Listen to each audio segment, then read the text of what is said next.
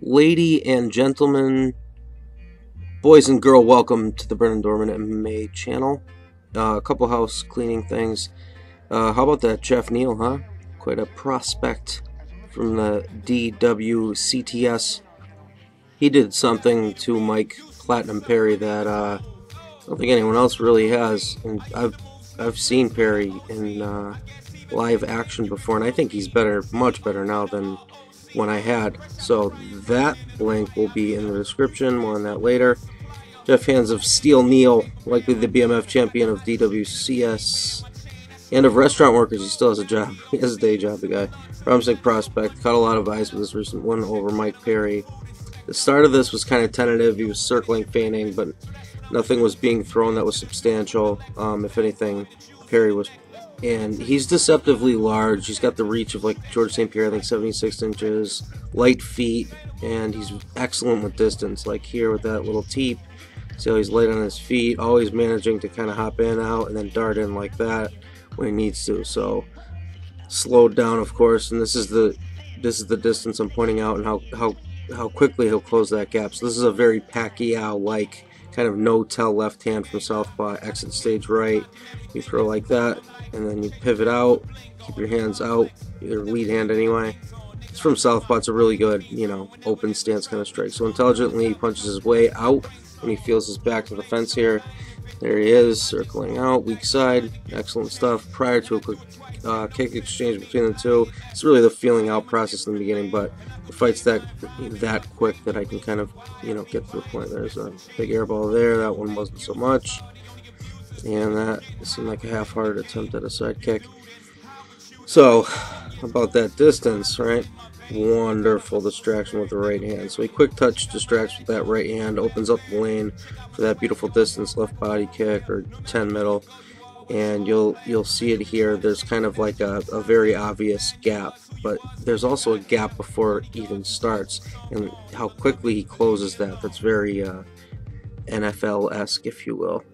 So see from here, look at how open that lane is, and that's that's the whole open stance thing. Is that left body kick is often available for the uh, southpaw, and it's a it's a wonderful tool because it'll open up things later, as it did in this fight. So he attempts the Pac-Man blitz again, uh, no avail. Perry's just no joke. He's uh, good defensively. His hands are high there. He's kind of elbow blocking, and he got out of the way. So the difference in distance management uh, becomes apparent pretty quickly as you'll see here. So Mike kind of throws that two into a, a 10, but it was it was uh, labored to say the least.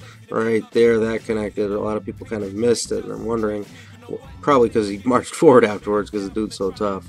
And here he's feinting and angle breaking. These are essentially just reads, you know, but it's feints and reading and movement and weak side. So Perry keeps hands low, missed exchange, but gets away with it because of his chin, his power, etc and you'll see here there he went for that left hand. What he's trying to do is just gauge what he's reacting to where he'll open up. So remember the last big strike he flashed hands faded off center line and landed that body kick? Well here that was not much different.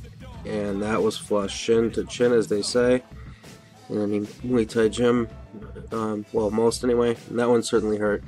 This following pursuit is like high IQ meets high octane the way he closes this gap, long armed, he's kind of feeling out, feeling out, and it's it's patiently measured. So when Perry goes for a level change, he pays. It's, it's just it's awareness, it's IQ, bang, right there. Now Blitz shifts that left hand off of that, wonderful stuff.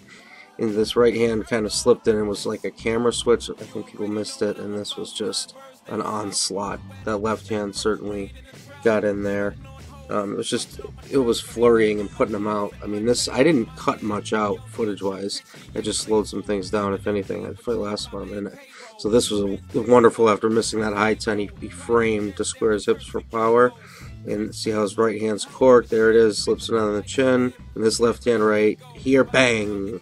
That's the big difference maker. Dude's in trouble. That was the pretty obvious beginning to the pretty obvious end. And as Rogan said, you know, no, no one's ever really torched Mike Perry in, in this in this fashion, and he's fired up as well. He should be. I don't know who's next for this uh, incredible prospect we have in in Geoff Neal, but uh, he's a blue belt, so I wouldn't be surprised by a grappler or something like it. And um, I- I'm just excited to see something new. He sees certainly something new at 170. Um, crazy power. So be sure to check out my Patreon, BJJ Fanatics link, Teespring link. I'll keep all those links in the description. If you like, share it, subscribe it, especially with Geoff if you happen to train with him. I know a lot of people watch my stuff, so um, my Patreon link and everything else will be below. Make sure you hit that bell, get reminders, stay in stay in tune and stay tuned.